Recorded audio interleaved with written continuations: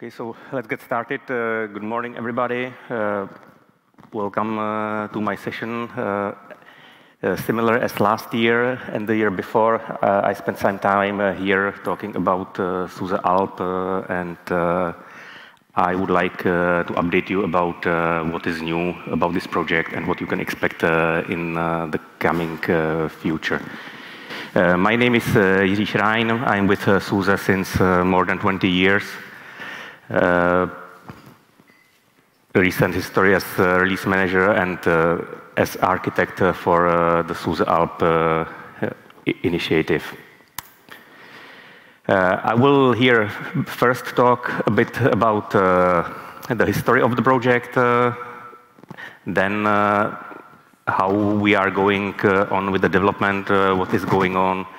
I will talk about the products which are already released, as you learned yesterday from Luboš's talk, or uh, products which uh, are going to be released. Uh, since we have some new people with SUSE who are working on the project, I would like to introduce them here,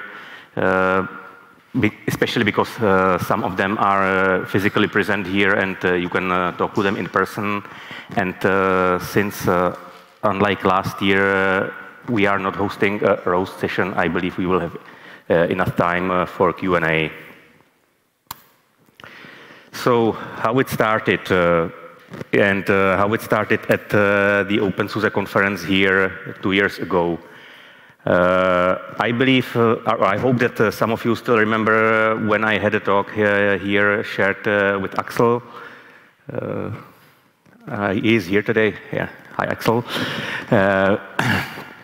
For me, uh, the big, biggest uh, observation from already preparing this talk was that uh, the pain expressed by Axel for the OpenSUSE community based on the Leap product, it's pretty much the same as we are trying or were at that point of time already trying to solve in SUSE. And this showed that there is a chance for, for, I mean, doing the same for mutual mutual benefits. The approach which uh, we were trying to take was simply to decouple what is the part of the base operating system and uh, what are the applications which you are trying to run on the operating system, so that uh, you can keep a rock solid uh, uh, stable core of the system and uh, update your desktop to whatever is the bleeding edge. Or the other way around, you may need the latest kernel for your hardware enablement, but all the runtime, you need to have stable environment. While two years back, we were thinking that this would be the only way to run Uh, the workloads on the new code base, uh, we realized that there is still a lot of uh, workloads which need to keep running in the traditional way. So that means that we are not really focusing on running on putting everything into containers or separating everything from the system what is possible, but we want to keep it open for applications which cannot be containerized really to run directly on uh, the operating system and benefit uh, from uh, all the updates compared to the SLE15 code base. As I said, the code name Alp, I want to make once clear what Alp is and what Alp is not. We started using the adaptable Linux platform word or the abbreviation to calling the code stream. Alp was never never, never meant to be a product which which would be that name. We from uh, day zero planned that there will be multiple products built uh, from uh, from this code base. And if Alp itself is part of the code of the name of the product or not, that was a minor topic, but there was never meant a product which would be called Alp or adaptable Linux platform. As uh, Lubos mentioned uh, yesterday, we recently internally renamed uh, the code stream of, from ALP to SUSE Linux Framework 1. So again, do not get confused. If you hear about ALP and about SUSE Linux Framework 1, it is the same. And again, it is not a product. It is uh, the word we use uh, for, uh, for uh, the code stream. So, what has happened uh, recently in this project, in the development of the project? You, you, you probably noticed that we as SUSE released, uh, publicly released uh, several prototypes uh, of uh, the platform, uh, which in fact added a bit to the confusion about ALP possibly being a product, but uh, those really were demos, demos of the new code base, not only a product. what probably caused some confusion as well is that we only uh, only released the, the transactional system variant of uh, of the platform. Uh, as I talked here already to some of you, it, uh, the platform doesn't mean it's transactional only. We have both options. We can have product which is transactional, uh, like uh, SUSE Linux Enterprise Micro or Leap Micro, or we can have uh, classic products which uh, have normal read-write root file system, and uh, you can keep operating them the same way with, as, as you do uh, with Leap. Uh, we started the development in uh, the open build service, built OpenSUSE.org, so that we did as much as possible. We did all the development uh, really public. Uh, anybody could uh, look at our hands while we were preparing the prototypes. And what did the prototypes include? Uh, we include, they included the base, base operating system and uh, as uh, finding what can be successfully run in a container, it included several subsystems or several workloads uh, for the demo purposes in containers. This way we found out that, for example, you can even run firewall in container. You can, whether it makes sense uh, is of course a different topic. Yes, uh, what had to happen, unfortunately, was that we, while we would be really happy to do everything uh, completely in open uh, we had uh, to move uh, the future development uh, into our internal infrastructure. we need to be able to get the product certified. we need, for compliance reasons, to have the infrastructure completely maintained by SUSE employees without allowing anybody from uh, the outside uh, community. So because of that, uh, it was probably the only way uh, how we could proceed.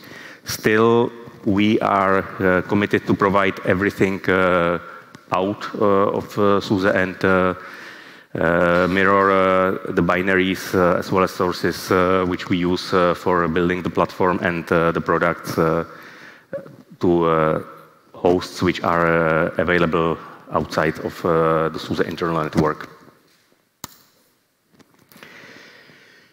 One change which we are still somehow in the middle of implementing uh, internally is uh, storing uh, all sources uh, in a Git repository. Uh, what we hope uh, in the future is that this will ease the contribution for pretty much everybody because if you, if, you want to, if you are new and want to start contributing, you probably know how to use Git, but there is a chance that you never heard about the Open Build service. Okay, you probably have, but uh, if you are not living in the SUSE and OpenSUSE ecosystem, you might not have.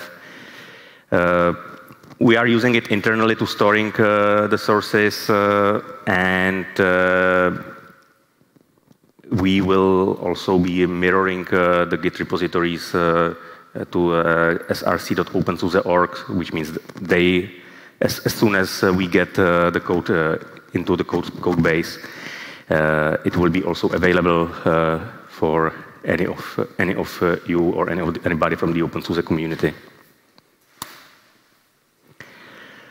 So let me have a look at uh, the products uh, which we already have. Uh, Luboš yesterday already mentioned uh, the release of uh, SUSE Linux Enterprise Micro 6.0, which uh, is a new version of uh, SUSE Linux Enterprise Micro. The previous version was 5.5, and uh, it is new. It is the first product first SUSE product which we built from uh, this uh, SLFO code base. Uh, I will talk about one interesting feature a bit later, but uh, there is uh, one thing which you might uh, have noted as we developed the, developed the product. In the past, we always first released uh, SLES 15 service pack, which was followed by leap 15.x and uh, only based uh, from uh, this code base uh, we uh, derived uh, SUSE Linux Enterprise Micro. Now with this new code stream we have the code base from the beginning including everything that is needed for both traditional and transactional systems. So, and uh, we decided uh, to start really with the rather smaller product and uh, micro being uh, the first product uh, built uh, from the from from the code base. And uh, as Luboš mentioned uh, yesterday, uh, the OpenSUSE project released the OpenSUSE counterpart of, of, of SUSE Linux Enterprise Micro, Enterprise Micro OpenSUSE Leap Micro 6.0. it is pretty much the same code, the same code base, uh, the same set of features, uh, uh the same packages, uh, but built from, but packaged as the open open SUSE product. I would like to talk about one interesting feature which uh, we have with the new code base, uh, which is uh, full disk encryption. I guess you all know if you want to encrypt the disk, how it is annoying uh, that you always need to type uh, the password for uh, decryption of the device. Uh, you probably need to type it uh, several times, once for the bootloader, then for the kernel, because the kernel itself is already on the encrypted partition. Uh, with using the TPM chip of, of the system on the x86-64 platform, we can seal the encryption key encryption key in, uh, in the chip, which means that as long as uh, you don't remove the disk uh, from uh, the host and uh, try to read it elsewhere, you get the you get can get the decryption done automatically without uh, any of your interaction, which makes it usable for hosts which are running somewhere in a data center that you typically cannot go and enter the password uh, one by one for your server room. When the disk is moved uh, elsewhere uh, or removed from the machine, uh, you don't have access uh, to the encryption key, uh, so you can you only your only way to decrypt and get access is, is to enter the password. So it's a secure way to store the disk. Uh, store uh, the data on uh, on your disk without without any hassle, as long as your system is otherwise secured. this feature is in SUSE Linux Enterprise Micro. It, it's in Leap Micro. It will be available in our future products as well. Speaking about uh, our uh, future products, uh, which we plan on the platform, Uh, obviously, we are we are planning uh, the SUSE uh, Enterprise uh, Server 16 uh, as the next as the successor of the SLES 15 products.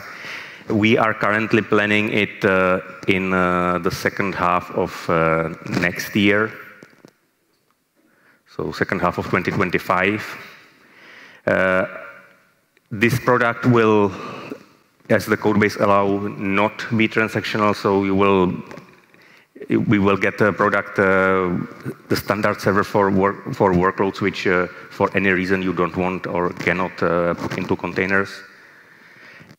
Uh, we are currently finalizing the scope of the product, which is matching what Luboš was also saying yesterday, that when building a Leap on top of uh, this product, uh, the community or the open source project will have a bit more freedom that you can put some of the components uh, on to the code base yourself instead of grabbing what we as SUSE provide.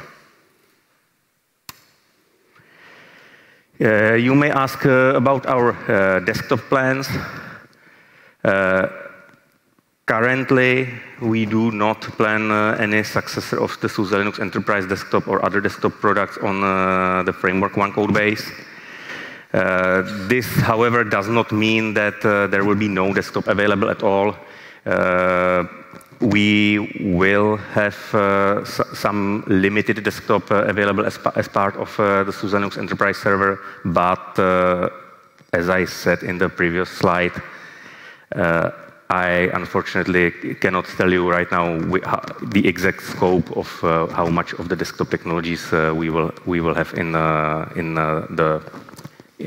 the product. And last but not least, uh, we are still investing into uh, containerizing stuff. Uh, we are continuing on the new platform with the base container images, SUSE BCI. And we are planning to expand the list of the available images based on what are the needs of our users, customers, or even the community. And uh, with that, uh, I would like to introduce you some of the new faces uh, with uh, the team. Not everybody is unfortunately here, but some of them are. So I would like to say hello, and I have them here in the first row, Eh, to Prokop Vlašín, who is eh, the release manager of eh, SUSE Linux Enterprise Micro and the container product. Behind him, we have Gustavo, who is also a release manager, supporting Prokop and Libor more on the technical technical front. And unfortunately, Libor Mikšík, who will be the release manager of the SUSE Linux Enterprise Server 16, is not available here. Uh, all these guys, the release managers, are getting great uh, help uh, from the release engineers. So we have here Giacomo Lady and and Eugenio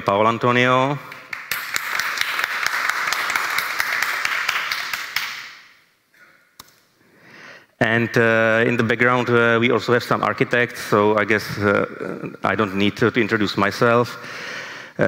Frederick, who is come on. Equally, I think I don't need to introduce Richard as a distribution architect. He also introduced it himself yesterday here on the stage, and he will continue today. Uh, unfortunately, we don't have here uh, Frédéric Crozat and uh, Olaf Kirch. Okay. And uh, with that, we have about 10 minutes left for your questions. So if you have any question, please grab the microphone and Uh, ask.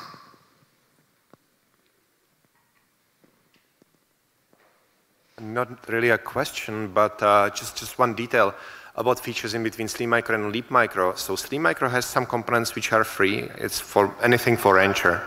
And that one we do not have. That I would forward people to use Slim SLE Micro. It's part of the, you know, as free, part of the Rancher offering. Otherwise, we have pretty much everything. Yeah. Luboš, on the other hand, nobody prevents anybody who is in the room to build the missing parts because all the sources, everything, all the binaries, everything from SLE Micro is available for for anybody. So, and it, it, it is the same. We built some uh. We built images with uh, specific content.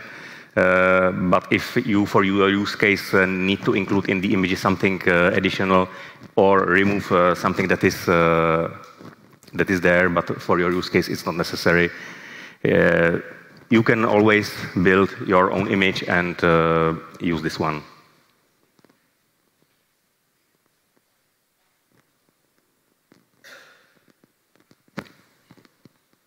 Any other question? Come on, last year you managed to fill an hour with, with questions.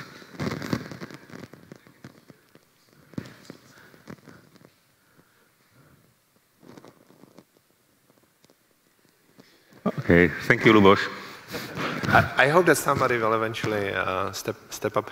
Uh, so we had some complaints about lack of traditional installer for micro. I personally use self-install, so I'm not the use case, but I know that some do, and we have this amazing new installer, and it can install microOS. So why don't we use that for these people who you know really want installer? For, uh, I, I, do not have direct data from talking to customer, but uh, the information I got was that uh, the customers who are using uh, SLE Micro, the older versions, they most of them really deploy the images. They do not use uh, the installer. You are right that we have uh, the self-install the self-installer from Kiwi, which is uh, pretty much uh, the the image uh, and the DD wrapped in an ISO. So it's not really a fully featured installer. Uh, the Agama installer is currently under development. I'm not saying that we never we never uh, include it uh, in uh, micro, but at the moment I'm not aware of any plan or any requirements to ship uh, Micro 6.0 as insta installable ISO other than the Kiwi self-installer. On the other hand, you are right that uh, we are still lacking uh, some specific uh, uh, use cases uh, for, for, like installing to a network storage, which you need to, uh, to activate first. the Kiwi self-installer is very easy, li simple, limited in the functionality. but as I said, I'm not aware of really specific use case which or specific customer request asking for uh, asking for uh, uh, the classic ISO installer.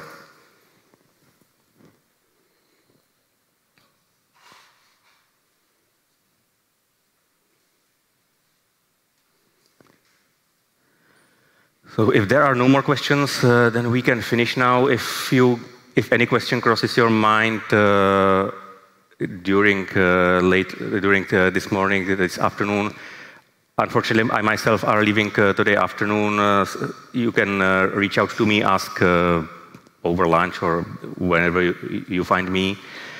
Uh, you can also uh, talk to the guys which I introduce you right now.